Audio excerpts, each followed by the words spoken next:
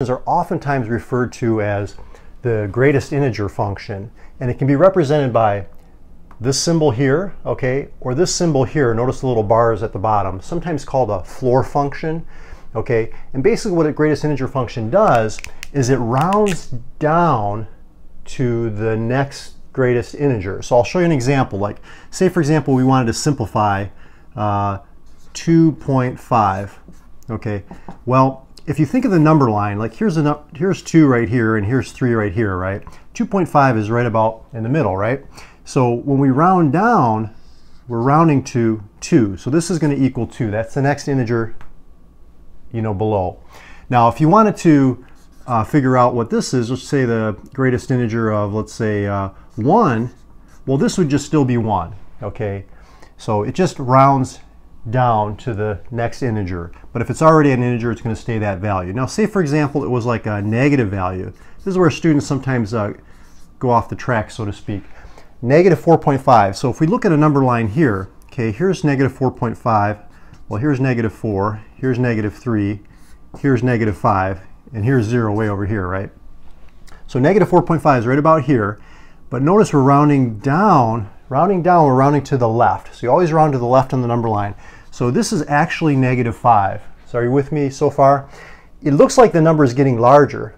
And you said, hey, wait a second, Mario, you said we round down. Well, you are rounding down. Negative 5 is actually smaller than negative 4.5 because it's further to the left on the number line.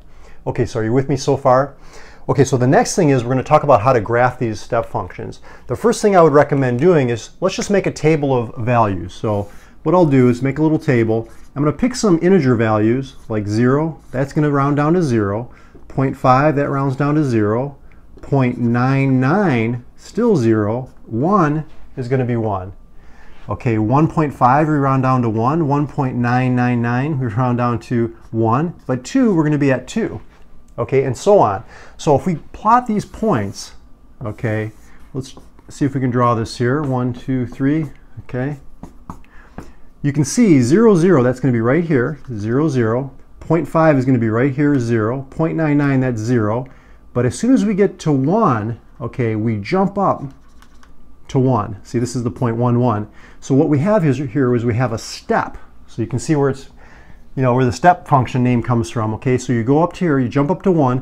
1.5, you're going to be at 1. 1.99, you're going to be at 1. At 2, there's an open circle here, right, because it jumps up to the next integer, okay?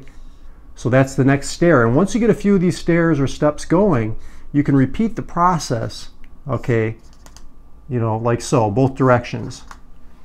All right, so you're with me so far? Now this is a function because it passes the vertical line test. Notice like right here, it's open here, closed here, so it's only crossing the graph at one point.